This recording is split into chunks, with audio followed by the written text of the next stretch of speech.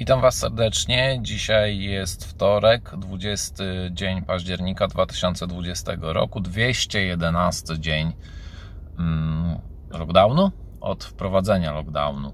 E, wielokrotnie Wam to mówiłem, liczę cały czas e, to od dnia pierwszego dnia wprowadzenia lockdownu, dlatego że mm, te wszystkie obostrzenia nie do końca zostały wycofane, a już w tej chwili mamy praktycznie nowy lockdown. W tej chwili jesteśmy w Londynie, po prawej stronie zwróćcie uwagę na ten budynek.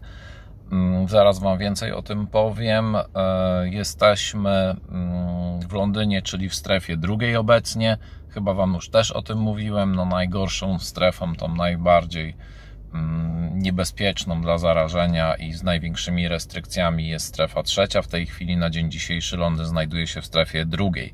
Ten ładny budynek po prawej stronie, no tutaj właśnie utknąłem w korku i chciałem e, Wam jeszcze pokazać wcześniejszy budynek, natomiast ten budynek po prawej stronie, który teraz mijamy, to jest budynek e, stacji St. Pancras.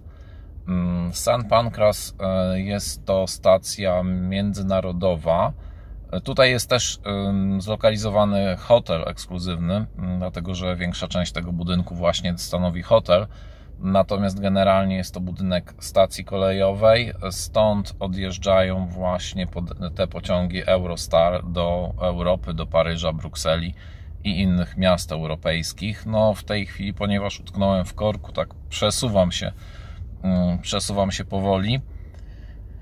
Tu będziemy zaraz mieli po prawej stronie właśnie całe wejście do, tego, do tej stacji, a wcześniej, no niestety nie udało mi się włączyć e, nagrywania, bo nie sądziłem, że będzie tutaj, nie zapowiadało się, że będzie aż taki korek. No właśnie z lewej strony w tej chwili minęła karetka pogotowia nas. E, no niestety tak to tu wygląda, że tylko dzięki pasom dla autobusów te karetki są w stanie się jakoś e, przemieszczać. No teraz już znowu przejeżdżamy kawałeczek dalej wracając do, wracając do budynku stacji i do samej stacji,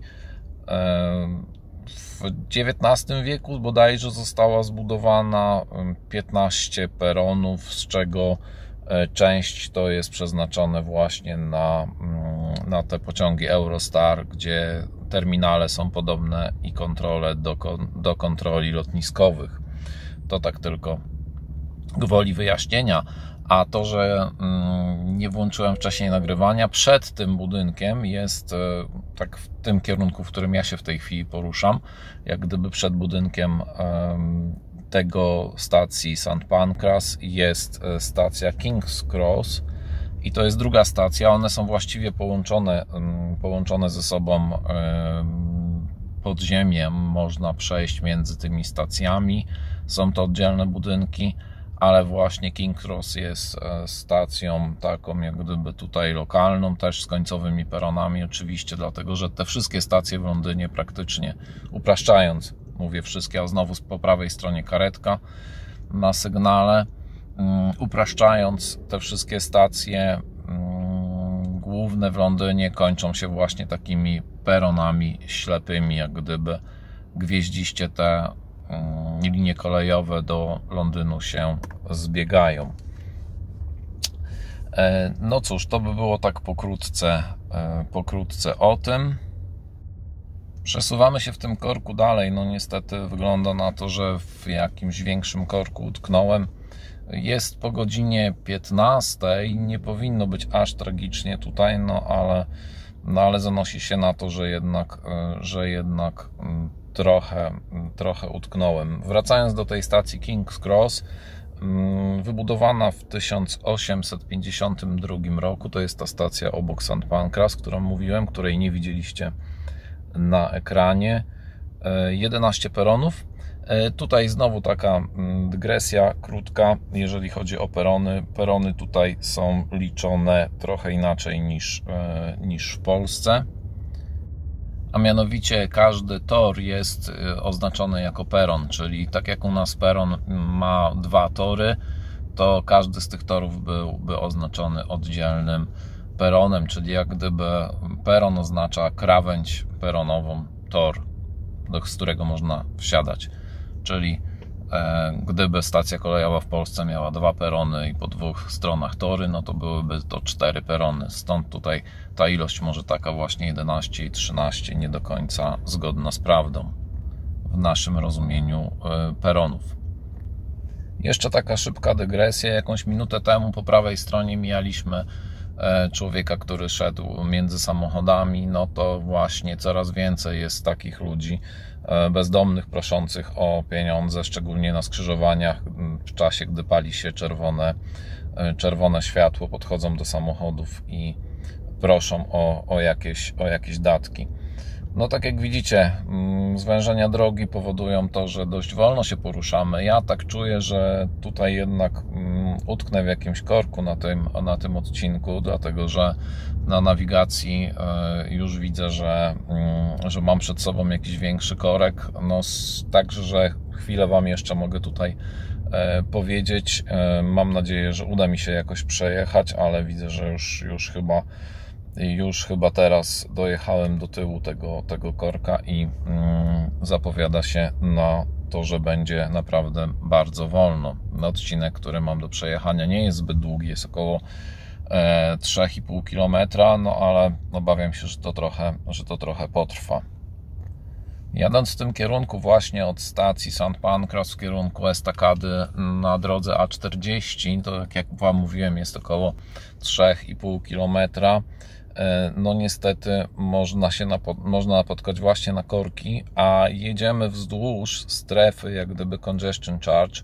E, po lewej stronie w tej chwili widzicie znak, o trochę go przybliżyłem, nawet to C duże takie na czerwonym tle oznacza strefę congestion charge i, e, i ultra niskiej, strefę ultra niskiej mm, emisji spalin.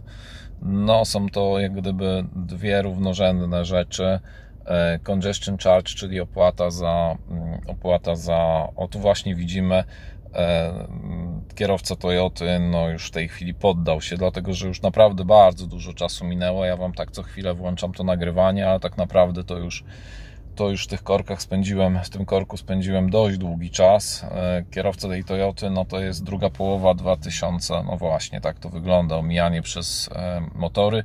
Druga połowa 2011 roku, nie mam zielonego pojęcia w zależności od silnika, jakim on opłatom podlega.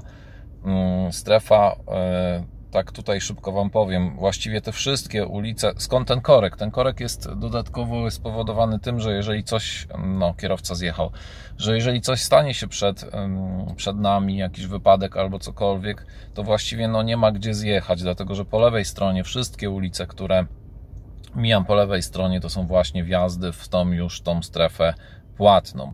E, zaraz Wam o tej strefie płatnej więcej powiem. Po prawej stronie ten budynek kremowy, który w tej chwili mijamy, to jest e, Muzeum Figur Woskowych Madame Tisson. Ten mm, budynek e, kremowy plus ta kopuła za nim zielona.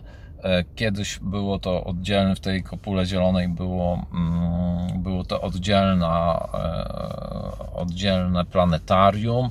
Od 2010 roku bodajże jest to razem z, mm, z Madame Tisson e, tworzy jedną, jedną całość. No, nie muszę chyba nikomu mówić więcej na temat właśnie e, mm, tego Muzeum e, Figur Woskowych Madame Tisson. Z reguły tutaj była zawsze długa kolejka przed wejściem, no tak jak w tej chwili, nie wiem czy zauważyliście, kolejki nie było, fakt, że już jest popołudnie, ale podejrzewam, że tak jak w większości tego typu miejsc w tej chwili, w tym czasie, no bo dalej mamy te duże ograniczenia, rosnące, tak jak podkreślam to cały czas, rosnące ograniczenia, e, to w większości takich atrakcji no, bilety trzeba kupować przez internet online z wyprzedzeniem. E, po prawej stronie, co teraz widzimy po prawej stronie, ten budynek przykuł moją uwagę, ten budynek właśnie za tym drzewem po prawej stronie, który w tej chwili mijamy. Tak, stałem w tym korku, stoję tutaj, bo mówię, włączam tylko właściwie w tym momentach, jak się przesuwam do przodu.